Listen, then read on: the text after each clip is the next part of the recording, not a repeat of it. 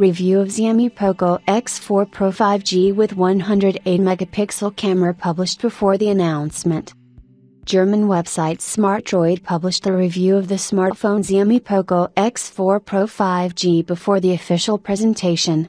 The article hung on the portal for several hours, after which it was successfully deleted. However, nothing disappears on the internet. Naturally, all the technical characteristics and images of the smartphone migrated to other resources.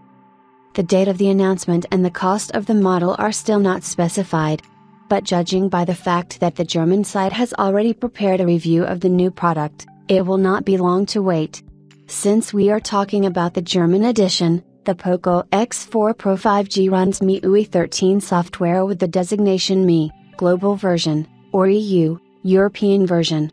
Regardless of the regional version of the firmware, it is based on the Android 11 operating system, not Android 12.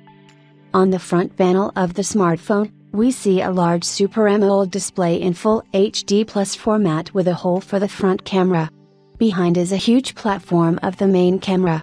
In addition to three optical modules and a flash, there was a place for the brand's logo on it. This design is already becoming a feature of Poco smartphones. The appearance of the pedestal camera is the main difference between the Xiaomi Poco X4 Pro 5G and the Redmi Note 11 Pro 5G, which has already started selling on the global market at a price starting from $299, including discounts. The technical specifications completely coincide with the parameters of the Redmi brand model. Our Hero is also equipped with a single chip 6nm Snapdragon 695 system with 6 to 8 GB of RAM. The capacity of the permanent storage device in the top configuration is 256 GB. The battery has a capacity of 5000 mAh and supports 67 watts fast charging. In Xiaomi Poco X4 Pro 5G, we will see the main camera with a resolution of 108MP plus 8MP plus 5MP without OptiStab and telephoto module, a 16 megapixel front end camera and a chip with support for near field communication technology.